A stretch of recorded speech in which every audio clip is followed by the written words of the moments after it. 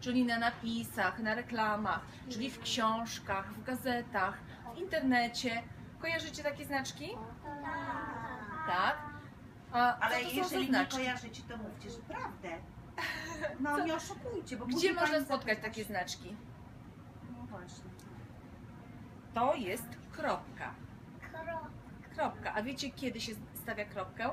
Jak piszemy zdanie, to kropkę zawsze stawiamy na końcu. Kończy wypowiedź. Ten znak to jest jest- kropka się przecinek, doskonale. I dzisiejsze nasze spotkanie ma właśnie takie hasło. Przecinek i kropka. I chciałabym się umówić z Wami na taki właśnie okrzyk. Ja będę wykrzykiwać przecinek i, a Wy będziecie odkrzykiwać kropka. Wypróbujemy? dokończyć. Dobrze, uwaga. Przecinek i Dobrze, niektórzy troszeczkę jeszcze śpią chyba. Książki. Poznamy różne rodzaje książek. Może wy mi powiecie, jakie książki lubicie, jakie czytacie, jakie mama albo pani w przedszkolu wam czyta, a mo, albo tata czyta pewnie też, tak? Komu czyta tata? A komu mama? A komu i mama i tata? Wszystkim. Wszystkim ktoś z rodziców czyta, tak? Popychaj. I tylko niech ten pociąg nam się nie rwie w czasie jazdy, dobrze? Trzymajcie się za ramionka. Gotowi? Tak? Ruszamy? Ruszamy.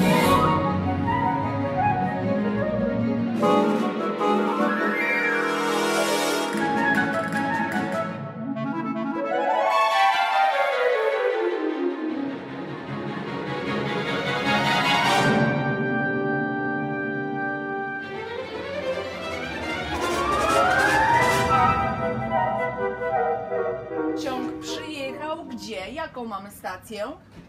Gdzie jesteśmy? Gdzie się znajdujemy? Książka. W książkach. A jakie to są książki? Dla kogo? Na dzieci. Dla dzieci. Podejdźcie tutaj wszyscy bliżej. Podejdźcie tutaj. Ja Tylko. No, a, a jeszcze jakie inne znacie tego typu książeczki? Trzy świnki. I jeszcze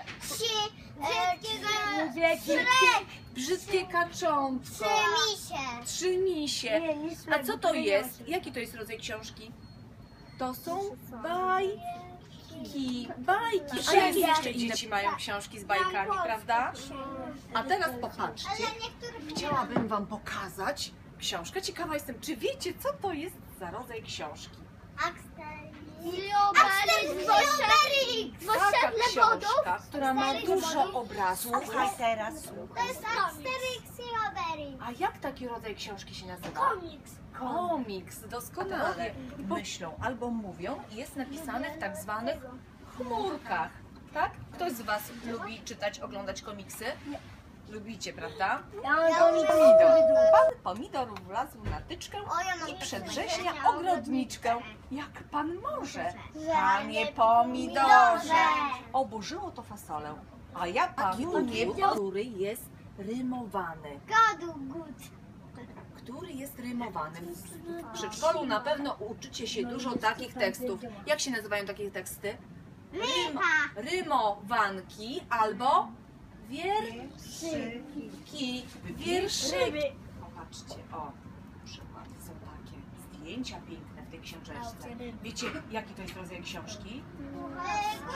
Kucharskie. A kiedy się sięga po taką książkę? Jak się coś musi gotować. Jak się coś musi, albo coś się chce zrobić, tak? Jakiś deser na przykład.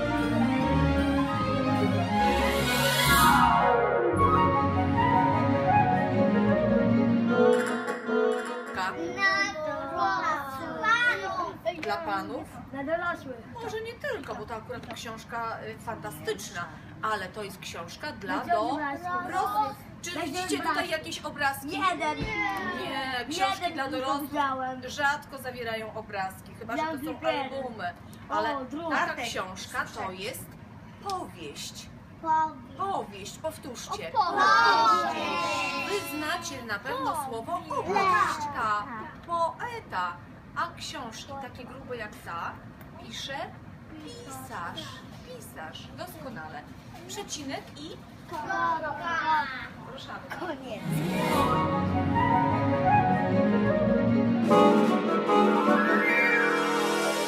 Znowu grubaśna książka. I znowu książka dla dorosłych. To jest słownik. Wiecie do czego służy słownik? Które tłumaczą na przykład, popatrzcie, tłumaczą nam słowa z obcych języków. Na przykład tutaj mam słownik francusko-polski, polsko-francuski. Jak się ktoś uczy francuskiego albo, Polskiego. albo już zna język francuski, a nie rozumie jakiegoś słowa, to sobie sięga po taki słownik i wie, jak przetłumaczyć z języka polskiego na francuski dane słowo. Czyli przy nauce języków obcych bardzo nam się przydają takie słowniki. A słownik polski tłumaczy nam znaczenie Podaj taką encyklopedię i popatrzcie, co ona zawiera. Różne obrazki. Są zdjęcia, O, obrazki, flagi. flagi, tak? Co jeszcze może zawierać? Fotografie, czasami mapki. Pooglądać książki, powybierać, zastanowić się, poczytać i potem kupić książeczkę albo mapę, bo tutaj mamy, widzicie, mamy też mapę w księg- w księgarni, gdzie można y, obejrzeć, a potem pójść do kasy i kupić książki. A biblioteka to jest takie miejsce, gdzie Wypożyczalnia. wypożyczalnia. Czy ktoś z Was zapisany jest już w bibliotece? Rozległ się między regałami głos. To był bardzo stary głos, trochę skrzypiący i lekko zakurzony. Zdawało się, że jego właścicielka jest okropnie obrażona nie zamierza dać się przeprosić. Nawet grubych skórzanych okładkach, jak dinozaury gdzie nigdzie stały drewniane schodki na kółkach, stoły z zielonymi lampami i duże fotele. Karolina... Jak z komiksu, prawda? Gdybyśmy tutaj chmurkę dorysowali i jakiś tekst wpisali, to mogłoby okazać się, że to jest pierwszy rysunek na przykład z jakiegoś y, komiksu, z jakiejś historii A to jest rysunek Indianów. Indian albo innych y, starożytnych ludzi, którzy dziewczyny- mieszkali gdzie? W jaskiniach. I to jest rysunek właśnie przerysowany z takiej ściany. To Ktoś już Egiptu. zna. A doskonale. A wiecie jak takie pismo się nazywa? To są Egipskie. Pisma. pismo egipskie. Ale te, te znaczki mają swoją nazwę i to taką trudną nazwę.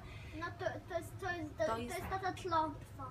To są hieroglify. Powtórzycie? Hieroglify. Gdzie są ogromne, ogromne kolumny, kiedyś przez Egipcjan, całe zapisane hieroglifami. Popatrzcie, jak ogromne są te kolumny, bo tutaj widać człowieka, który pod tymi kolumnami chodzi, prawda? Widzicie? To I nie dość tego, że Egipcjanie robili takie książki z tego papirusu, ten papirus był o wiele twardszy od papieru i bardziej kruchy. To zwijali go w rolki, ponieważ y, kruszył się i, i był taki nietrwały. I ten papirus i Egipcjanie, i Rzymianie potem sprowadzali. I pomyślcie sobie, jak trudno y, nauczyć się y, mają dzieci chińskie takiego pisma. My mamy tylko kółeczko, laseczkę, tak? Albo laseczkę, y, kładeczkę. Łatwe mamy pismo, łatwe mamy literki, a tu są bardzo trudne litery. Ale w związku z pismem chińskim chcę Wam powiedzieć jeszcze jedną rzecz. Chińczycy wynaleźli wiele przydatnych em, i, ważnych rzeczy, tak? Między innymi dla nas bardzo ważny wynalazek to był papier. Bo ten tekst ten tekst zapisany już jest na papierze, nie na papierusie. Bo Chińczycy wymyślili jako pierwsi, jak zrobić pani na tych wiecie, a potem suszyli w piecach albo na słońcu i ta glina twardniała, bo ona jak schnie, to twardnieje, prawda? I robi się twarda jak kamień. I na takiej książce właśnie mysz mogłaby połamać sobie zęby, gdyby się tam do niej, prawda? Dobra, pismo wymyślone przez Indian z Ameryki Południowej, jeszcze z innej części świata. Kamil o tym rozmawia, bo on zna o zwierzętach i o różnych To jest- krajach.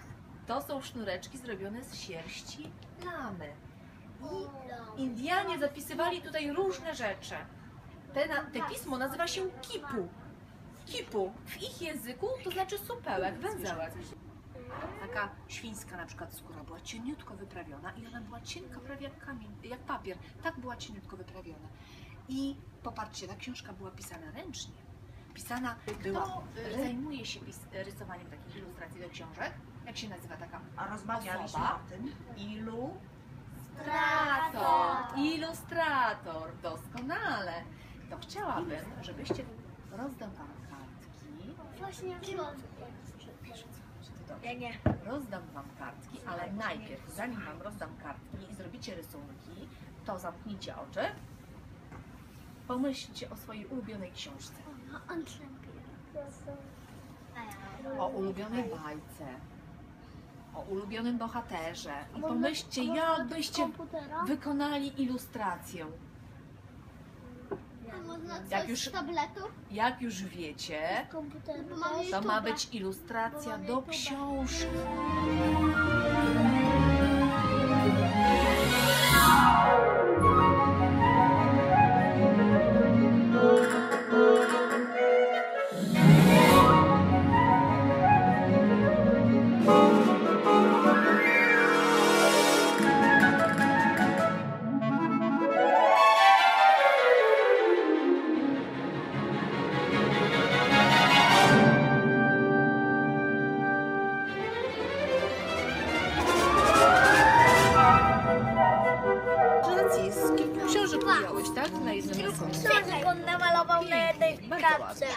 A ty? Na jednej, To są jakieś na jednej stronie. Pan skończyłem. Ja też skończyłem. Książeczkę można będzie przyjść z rodzicami i Tu, tu bomba poleciał uważnie. Zadanie do domu jest takie. Czytałam Wam fragmencik książki i tutaj jest zapisane tak. Słuchajcie, tak proszę za mną. Mruknęła mysz i wymątując laską, chwacko pomaszerowała w głąb biblioteki. I to słowo chwacko trzeba będzie wyjaśnić. Jak myślicie, co ono oznacza? Co znaczy słowo chwacko? Wa- waszym zdaniem? Armada. Jak? Drętwo. Trudne słowo i to będzie Wasze zadanie sprawdzić w domu, w przedszkolu, w słowniku, co znaczy słowo chwacko, przecinek i za przeżycie fantastycznej i odkrywczej wyprawy do świata książek, za poznanie świata pełnego magii i piękna, za odkrycie wielkiej tajemnicy książek. Życzymy Ci wielu takich odkryć. Powodzenia, zespół, przecinek i kropka. Nie będę Miłe. Miłe spotkanie. I życzymy Życzymy dobrego. I dużo klientów. I dużo, dużo I klientów. dużo takich fajnych klientów jak W Wy. podziękowaniu proszę. Dziękuję.